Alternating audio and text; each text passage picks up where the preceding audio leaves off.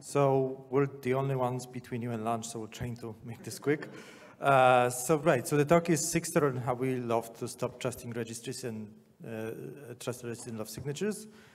Uh, the title was loosely based on Dr. Strangelove, hence the title slide is a bit off. We also try to use DALL-E for generating all the images just to make it a bit more in intriguing, interesting. We hope you like it. Right, so let's start by introducing ourselves. Hi, I'm Tyson Kamp. I'm a security architect at uh, InfluxData. There's actually two Tyson Kamps on LinkedIn, and so mine has a one on the end. The other easier way to discriminate is the other guy has hair. So, if you get the hair guy, you get the wrong guy. Right, and uh, I'm Wojciech Kocjan. I'm a platform engineer at InfluxData. So I was working with Tyson more on the technical aspect of this. This is my GitHub and, and LinkedIn profile as well. There's multiple Wojciech Kocjans. Uh, I guess, I don't know if we all have hair, but it's, the link is there, so you should be able to find us. Me. Uh, right, so uh, let's quickly introduce uh, InfluxData, InfluxDB. So uh, we come from a company that's been mostly known for InfluxDB, and this is a platform for building time series applications. And at its heart, it's an open source uh, database that's built for keeping timestamp data, so any metric that's captured in a specific point in time. And we also, we also provide this InfluxDB Cloud, which is a multi-tenant uh, software as a service solution built on Kubernetes, multiple clouds, multiple regions. And this is where we were adding the, the signing solution to. So why are we adding signatures? I'm going to really bite my tongue and just go with the slide because I tend to ramble up, and that went too quickly. Anyways, we don't trust the registries. That's the answer. I guess this the thing is dictating our pace. Oh, it's still. Oh, still me? Ah, thanks. Okay, so some other stuff. So, so high level, what, what were we trying to do? So number one, the first bullet point is the one I just said. Number two, one thing, I, am a dev in my bones, and so I, when I hear C, uh, key rotation, it, it just kind of makes me cringe. So I wanted it to be really quick and really trivial and as easy as possible, and you'll see how we did that later. Um, we have many, many clusters also, so this had to scale and be really simple. Um, and the last one's kind of a repeat of the second bullet point. Skip that one. Okay, so non-goals. So I did my best to solicit as many different groups around Influx as I could because I've only been there for a year for one, but number two, I want as many opinions as I can. Uh, I certainly can't think of every, everything, and so when you start talking to people about security, you probably all know this. The what if questions start happening really quick, and what if, what if, what if, and so while getting the information, I was also reminding people we don't trust the registry. That's the only problem that we're trying to solve here right now. The, the, we'll, we'll, deal with the rest later, so that was number one. And number two, we were getting pretty jazzed about all the stuff that Sigstore has to offer, so we had to sort of contain ourselves and do what I just said. Just keep it to registry trust. Still me. Okay, so when are we, should have put my name on it. So uh, when are we done? When every single container that we have is being signed and being verified in the clusters, that's when we're done. And uh, from my experience from other domains outside of cyber and outside of engineering, uh, I'm a big believer in training and being able to perform under stress. And so uh, uh our SRE team um, and the people that might have to handle the breach when it happens, not if it happens, I need to know that it's easy for them. It's really, really easy and it's quick and that they're trained in doing it. So that's another definition of done. This can't be something that Wojciech and I think up and it looks neat and we have some diagrams and sock it away somewhere, and then we move on, and 18 months later we're gone. Somebody has to be able to handle this really quickly and really easily when there's a breach. So that was a that that was a big um, criteria. And number three, our dev teams need to know how to how to onboard really easily. Okay, so we can stop switching the mics now. Thanks so much. Uh, right, so a bit more details about InfluxDB Cloud, uh, just enough so I understand what the problem was that we were trying to solve. So it, as I mentioned, it's Kubernetes based, it's partially stateful. Well, I guess any database has to be stateful at some places. So most of the workloads are stateless microservices. So for example, when we get an API call, there's a lot of microservices that parse it out, call it, call it out, and then talk to the, to the storage tier, and this is where we get to the, to, to the interesting bit of InfluxData. So we have a storage tier that's basically using PVC, so volumes at the Kubernetes level, with the data being also persisted at the cloud native objects, so like S3, Google Store, depending on, on the cloud it's running on. We're also using uh, managed databases for the metadata, so anything like the users' organizations, we try to put it in SQL. Some of the things are in different places as well, but most of it is in SQL. In Kafka Zookeeper for the write-ahead log, so when someone starts writing data, it, stored there first and then gets written to the proper storage tier. Uh, and the thing that we're really happy with is that with because this has been built as cloud native from day one, it's, it has fully automated pipeline. We're using infrastructure as code, GitOps, proper CI/CD in place. Uh, I think this is also similar to previous talks. We have the concept of phases, so anything that we want to introduce first gets run in, in the staging or testing environments that don't really have any external customers using it. Once all the post-deployment tests pass and everything looks properly, then that gets deployed into production. So there's that integrated in our pipelines as well. And again, uh, I think we're on all three major clouds and in multiple regions. So there's a lot of lot of deployments happening, a lot of things changing all the time. It's it's it's actively developed, so we have multiple. Well, I guess large number of deployments per day. I have no idea what the numbers are. It's it's happening all the time, basically. Um, so we have multiple sources of images, and they're treated differently. Uh, uh, the, the so we have like we have CI that's building the code that we've written specifically for InfluxDB Cloud, and that's a lot of code, and I guess a lot of the images we, we run is, is, is that. So with that, with those images, it's relatively simple because they get billed, they get signed, or we'll get to the details on how they're signed later. but that's just a subset of images we use. InfluxData also provides some open source code, open source code and open source based containers for example, we have an agent called Telegraf that, that we, we try to use to get our own metrics from our own product as well, just, just because it would be nice to, to use our own solutions ourselves. Um, and we use a lot of third-party container images, like, for example, we use Argo workflows for some of the tests, so we, so we want to, to use those images and be able to validate them.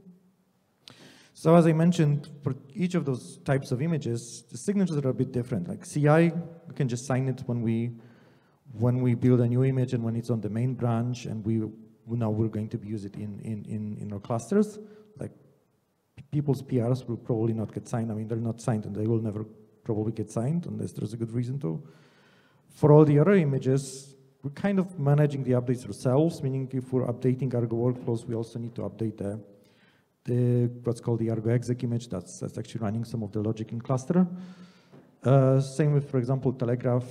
We we try to follow the major releases of Telegraf, but it doesn't mean we, we update them the same day. So we basically sign them uh, periodically, meaning that we have a list of images and those are specific SHAs that we that we decided we're going to trust and they get they get signed periodically.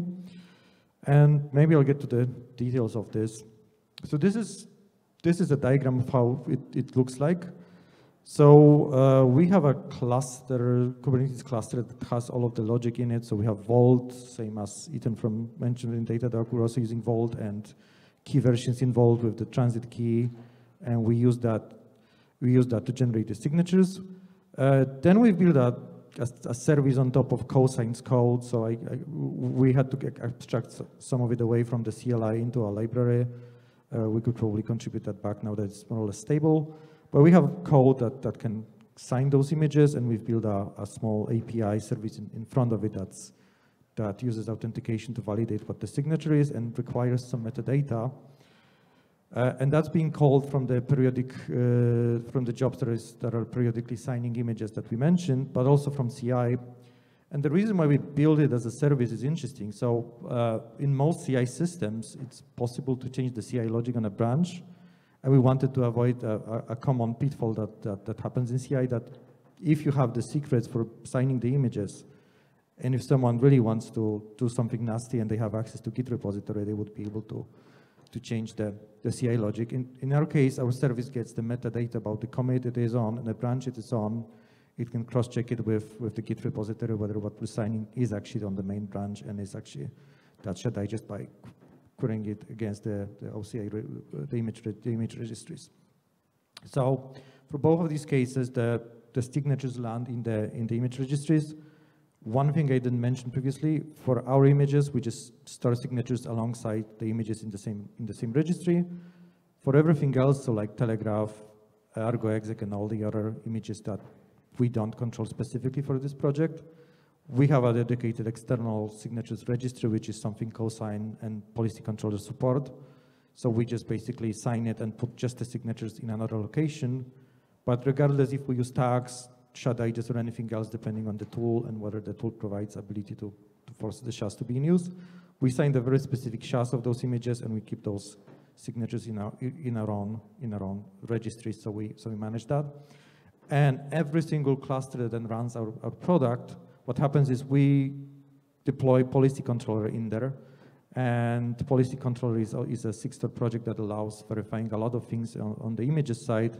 And the thing that we use is, is just a, is today is just a, just the image signatures. So what happens is we also have a, a- it's more or less a cron job today. It may be more complex in the future, but it basically queries back the main, the cluster that's managing the, the keys to get a list of public keys that should be used, and that's obviously an authenticated API because there is no, no reason to may not make it not make it available to all the clusters. And we update something called the cluster image policies, which is a policy controller CRD that defines rules for which images could be used. So we keep on rotating the keys, as, as Tyson mentioned, and make it make it simple and transparent for everybody that's that's using the system. We have a thin client in the on the CI side that could be integrated that would be calling our image signing service, and then in each of the clusters we have systems that make sure that all the clusters have up-to-date set of public keys. Um, because of that, we didn't have to set up any CA, CA certificates, and because most of the images we use are just internal, we didn't want to specifically use all of the, like all of the solutions that would include transparent log and and uh, and keyless signing. We, wanted to just choose a, a frequent key rotation and just using key-based signatures with with Vault providing that. And with Vault, the nice upside is as well that the pub, the private key never leaves Vault. It's just it's it's just used for signing. So it's it's relatively secure.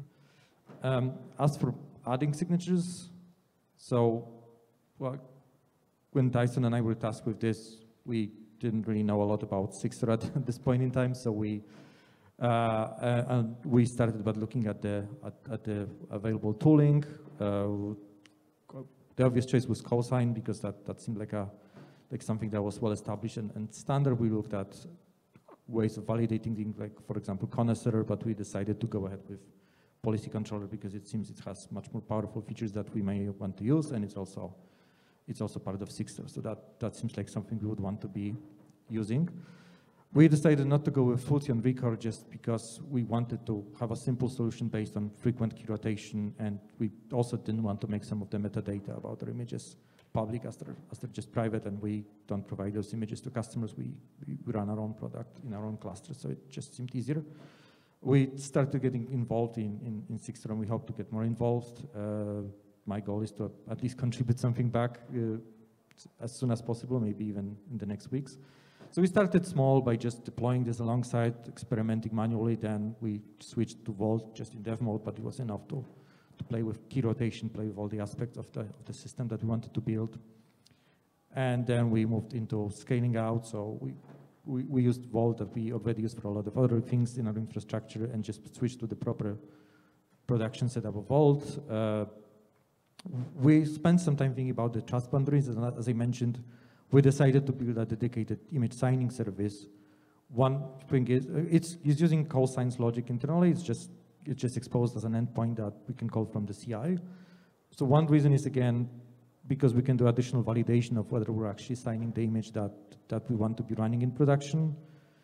Uh, the other thing was that because of that, CI, CI systems do not have access to the, to the private keys.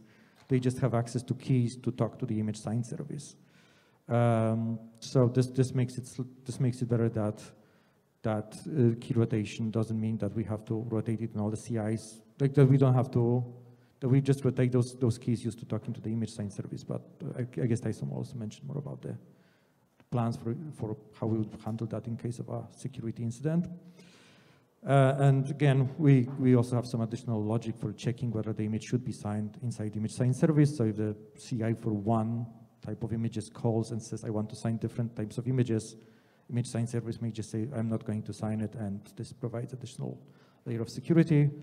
In terms of policy controller, we, we had to do some tweaks and do some settings uh, changes, and we also opened some, some issues, and like I said, we, we're hoping to contribute back to policy controller at some point.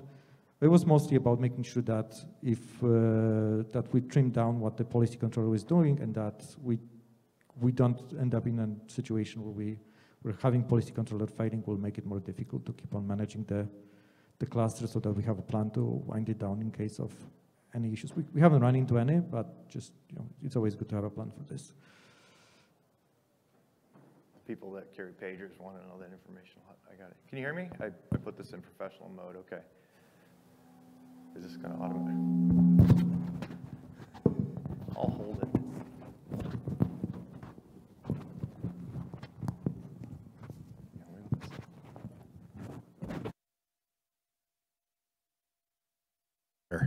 Okay. So uh, getting, the, like I said, key rotation is really important. So important and so easy I wanted it that uh, nobody does it. Cron does it. Uh, It's, it's uh, handled by config variables, and it doesn't even have to happen, and it's happening all the time. We basically have dials to say, how quickly do you want to deprecate the keys? How often do you want to create new ones? So you can create them twice a day, you can create them once every two weeks, you can say, throw them away after a month, throw them away after a week. It's just in GitOps, it's that easy. That's how easy I want my life to be. Um, integration with the automation and processes, that was some heavy lifting to me. Wojciech mostly handled that, but um, that just, I'll just say, make, make sure you set some time aside for that. That was difficult. And again, just to highlight, I tried to work as cross-functionally as possible so everybody's cool with this, especially the people that carry the pagers. You know, they have to, I don't want to see any concern on their face when I'm rolling this out because I'm really, uh, usable security is really important to me. Like people find workarounds really fast if they, if it seems like another hoop they have to jump through, something that you did. So, so working with other teams, it's the dev teams, but really the SRE team and the people downstream from me. I don't, don't want them to feel like, you know, I'm just giving them another thing to do because that's often how security is viewed, right? So handling incidents, um, since we're so close to lunch and, and I'll keep it brief, I looked at this slide this morning and then I reviewed my own documentation because I can't remember anything from two weeks ago. And I looked at the docs this morning and when there's an incident, you check out a file, change a flag from false to true, check it in. Watch Argo CD, and when everything's been redeployed, that, that, by the way, that issues a new key, a new signing key, deprecates all the old ones, deprecates all the old public keys to validate the signatures. You watch Argo CD for everything to deploy, check out the file, change the flag back, check it in. That's it. So that's what I wanted. I wanted this super easy, like, uh, solution for the, for the SRE team, and that's, a- I can explain it to our CFO, and I can tell them why we're doing it, and they love to hear that kind of stuff. So that was, a that was a big concern uh, of mine. So that's about it. There's a, is it the last slide? It is, yeah. Yep, so I think we're done ahead of time. Uh, We'll take questions if anybody has any. Um, that's it. Thank you.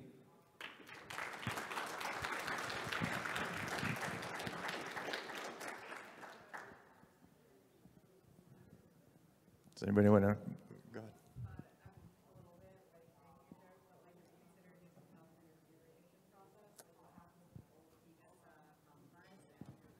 Y- y- Using what for key rotation? It's just more than we needed to do for our scenario. That, that's it. It's just more stuff, you know what I mean? So any introduction of complexity has to have a, a really huge upside. And so we- we, we could, we may, you know, we, we may do that. But right now, this, this involved setting up almost nothing else. It was really,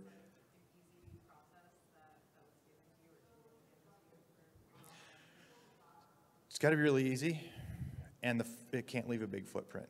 Because I've seen a lot of, I've seen a lot of people come and go and build systems, and they're gone, and then, and then we're trying to figure out how those systems work.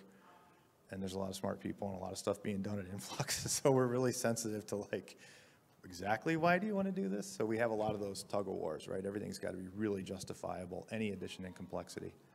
and I just finished a book about the collapse of complex societies. So complexity breeds fragility. So, so I'm not saying it doesn't have a reason. I'm just saying we, we, we don't have one right now. But And just to share some other interesting issue we're running into sometimes. So we're rotating the keys, but the validity of a key is relatively long because sometimes we see engineers having to roll back specific service to a previous version because, for example, of incidents. So we, it's happening, I wouldn't say on a daily basis, but we've seen issues where, for example, someone introduced a refactoring of a piece of code and then for a specific customer, or for a specific cluster that's used in a, in a non-standard way that, that generates some issues. So we're seeing people, there is a, there is a relatively easy mechanism to what we call pin an image, which means instead of just rolling to the latest, latest one in a specific location for a specific microservice, people do that.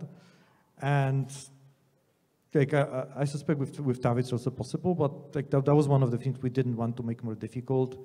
So there are, there are procedures in place to, to do that. If you need to use, take, make an exception in code that's on a branch because you have a fix for an incident as well. There are mechanisms to do that, to do that. That, that is not as simple, but rolling back to an image from two days ago is something you want to do. Rolling back to an image from six months ago is something you want to prevent because that, that, that one may have vulnerabilities in there. Yeah, that's kind of bookended with the replay attack scenario where we want to keep the window of public keys that are accepted as small as possible. That's, the replay attack says, well, why don't you do it for an hour? You know, like a two-hour-old key is, is deprecated, and we, we haven't really figured out where the com, the middle ground is right now. Yeah. Cool. That's it. All right, let's eat.